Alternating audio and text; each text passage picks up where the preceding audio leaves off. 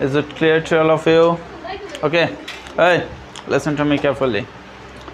Um, what is prefix and suffix? Prefix and suffix are the words that are added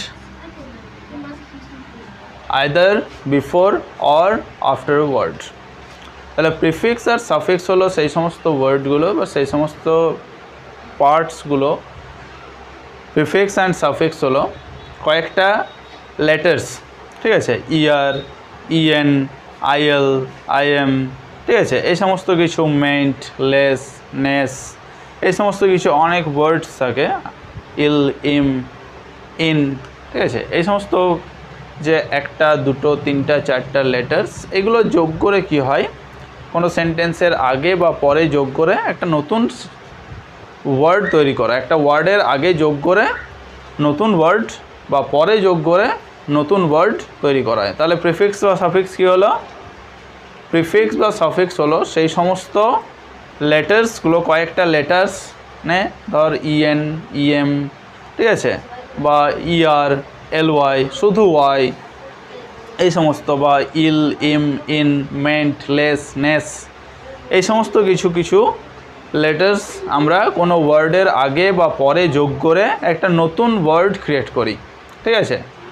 word তো আছেই সেটা, আমরা create করছি নাই ওয়ার্ড সেটা ডিকশনারির একটা ওয়ার্ড ঠিক আছে? কিন্তু একটা ওয়ার্ড থেকে আরেকটা ওয়ার্ডে আমরা ট্রান্সফর্ম করছি সেটাকে চেঞ্জ করে দিচ্ছি। এটাকে আমরা বলছি প্রিফিক্স অ্যান্ড সাফিক্স যোগ করা। এবারে প্রিফিক্স কোনটা আর সাফিক্স কোনটা? প্রিফিক্স কোনটা অ্যান্ড সাফিক্স কোনটা? প্রিফিক্স প্রি মানে কি আগে? প্রি মানে হচ্ছে আগে। তাহলে আগে যেটা যোগ করব, কোনো ওয়ার্ডের আগে যেটা অ্যাড করব, সেটাকে আমরা বলব প্রিফিক্স যেমন ধর কারেজ এটার আগে আমরা এন যোগ করে দেবো, দিয়ে লিখে দেবো কারেজটা এনকারেজ মানে হচ্ছে ভালো পথে চালনা করা। আবার আরেকটা হয় কারেজ থেকে, যেটা হচ্ছে ডিসকারেজ মানে খারাপ পথে চালনা করা।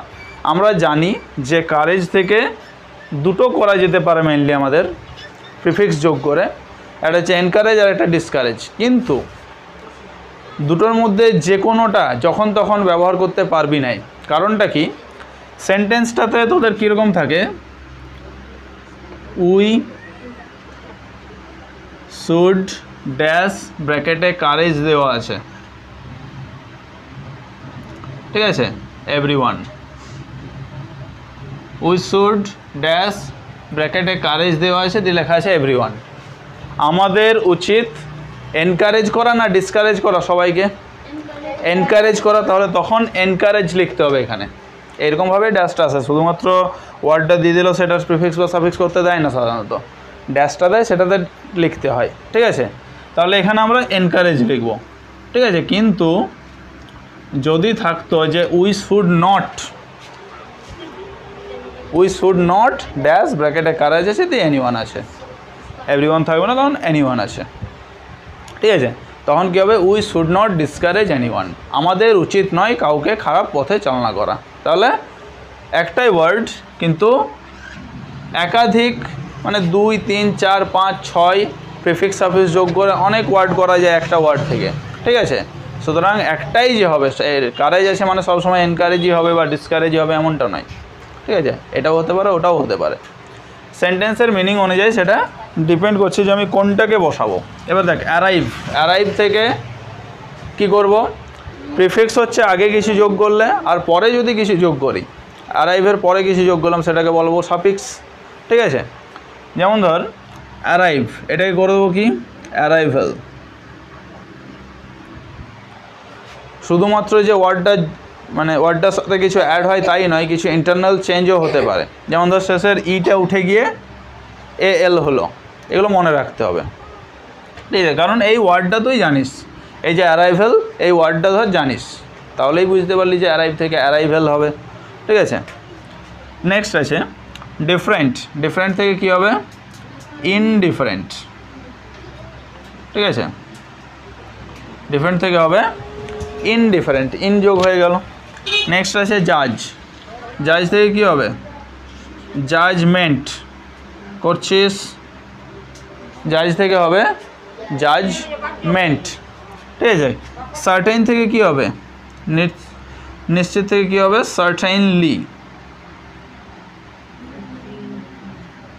সার্টেন থেকে হবে সার্টেনলি এলওয়াই যোগ হয়ে গেল। সাফিক্স হিসেবে এটা হচ্ছে সাফিক্স এটা হচ্ছে সাফিক্স এটা প্রিফিক্স এটা সাফিক্স হলো, এটা প্রিফিক্স হলো। এটা এনকারেজ ছাড়া একটা কি বললাম? ডিসকারেজ ঠিক আছে? এবার দেখ সাফিসিয়েন্টটা কী হয়ে যাবে? ইনসাফিসিয়েন্ট বুঝতে পারছিস? এটা কি হলো? প্রিফিক্স ইনসাফিসিয়েন্ট ইনটা হয়ে গেল প্রিফিক্স ধর বোল্ড বোল্ড থেকে কি হবে? বোল্ডনেস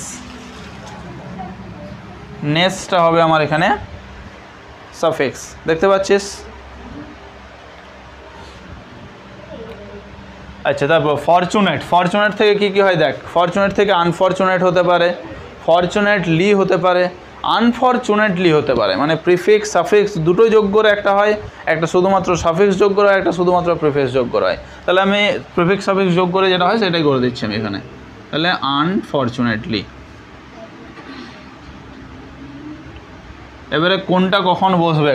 শুধু ফরচুনেট অ্যাড বসাতে হবে তোকে, নাকি আনফরচুনেট বসাতে হবে? নাকি ফরচুনেটলি বসাতে হবে, নাকি আনফরচুনেটলি বসাতে হবে? সেটা সেই সেন্টেন্সের যে জায়গাটা, সেটা সেখানে কি বোঝাতে চেয়েছে, সেটার উপরে ডিপেন্ড করছে। রিয়েল রিয়েল থেকে হবে রিয়ালিটি রিয়েল থেকে হলো রিয়েলিটি এই যে আই টি ওয়াই এটা আমার সাফিক্স হিসেবে যোগ হলো আগেরটাতে ছিল, এখানে একটা প্রিফিক্স ছিল আর একটা সাফিক্স ছিল এল ওয়াইটা ঠিক আছে? তারপর কমফোর্ট কমফোর্ট থেকে কি হয় দেখ কমফোর্টেবল হয় আনকমফোর্টেবল হয়। ঠিক আছে? কমফোর্টেবল হয় শুধু সাফিক্স যোগ করে আর আনকমফোর্টেবল হয় প্রিফিক্স অ্যান্ড সাফিক্স যোগ করে। আনকমফোর্টেবলটা লিখে রাখছি। তাহলে ওটাও মনে থাকবে ধর। কমফোর্টেবল আনকমফোর্টেবল এগুলো অপোজিট ওয়ার্ড ঠিক আছে? পসিবল থেকে কি হবে? ধর পসিবিলিটি হতে পারে ইম্পসিবল হতে পারে, ঠিক আছে? পসিবল থেকে কি হতে পারে একটা? ইম্পসিবল হতে পারে।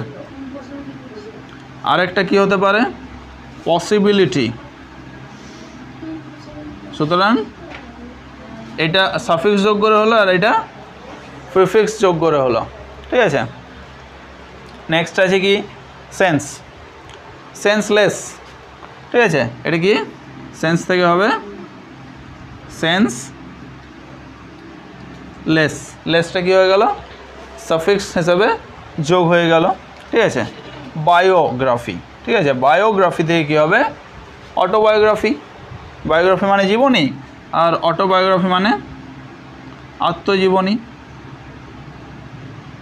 এমন কিছু যোগ করতে হবে যেটা যোগ করার পরে তার একটা মিনিং দাঁড়াবে। মিনিং না দাঁড়ালে ধর আছে তোর সেন্স করে দিলে সেন্সলি বা ইনসেন্স বা ইমসেন্স ঠিক আছে? সেন্সনেস কিছু একটা করে দিলে উদম, সেটা তো আর মিনিং দাঁড়াচ্ছে না। মিনিং হতে হবে একটা। তবেই সেটা প্রিফিক্স বা সাফিক্স হবে এক নাম্বার, আর দু নম্বর হচ্ছে যে সেন্টেন্সে অ্যাপ্লাই করছি, সেই সেন্টেন্সের সাথে সেটাকে অ্যাপ্রোপ্রিয়েট হতে হবে। তবেই সেটা ঠিক। ঠিক আছে? ওকে এনি প্রবলেম